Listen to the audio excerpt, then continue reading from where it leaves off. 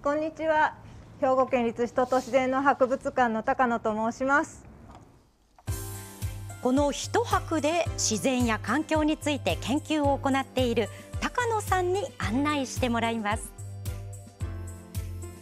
このコレクショナリウムっていう建物は町の中心部に一番近いところになります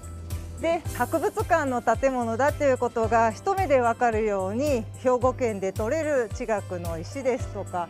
動物や植物が建物の外から見ることができるように展示を作りました。建物の南側には薄い展示空間を薄っぺら劇場と名付けて薄い体の生き物を展示するといった遊び心もいっぱいです。中をご案内します。広い室内の一角にショーウィンドウのような大きなガラス張りの部屋がありました。中にあったのはたくさんの鳥の剥製。なんと400近い点数が並べられているんです。照明が当てられていてまるで美術館のようです。この鳥類剥製が入っている部屋は収蔵庫と呼ばれる高温で高湿の環境を保てるような部屋になっています。これらのあの剥製は近くで眺めていただくことができるように小さな鳥を下の段に大きな鳥は上の段に並べてあります。それぞれ名前の表示はしていませんが見た通りの並び順で鳥の名前が書いてあるパネルがあって一目でわかります。実際博物館には展示してある標本資料よりも何十倍もの資料を収めている場所なんですよということを理解していただきたくってこういう空間を作っていま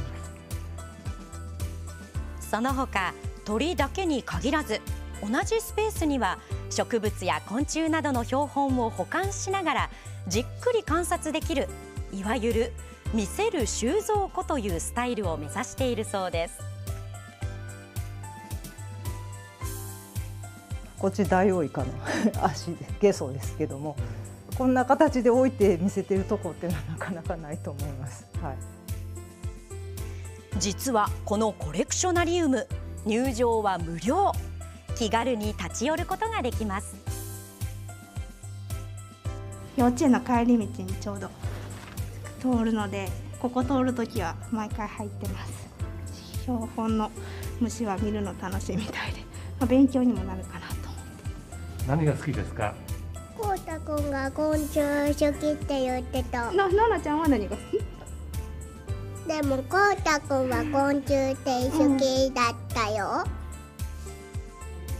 一泊では情報交換や交流を積極的に行っていて先日のイベントでも研究員が標本をテーマに解説を行いました。これまで博物館はおそらく展示されているものを見てあこんなものがあったんだねで終わりだったかなと思うんです。ですけれども今回今我々の博物館の人間がどういう活動をしているのかっていうことを少しでも理解を深めていただけたらなというふうに思っております。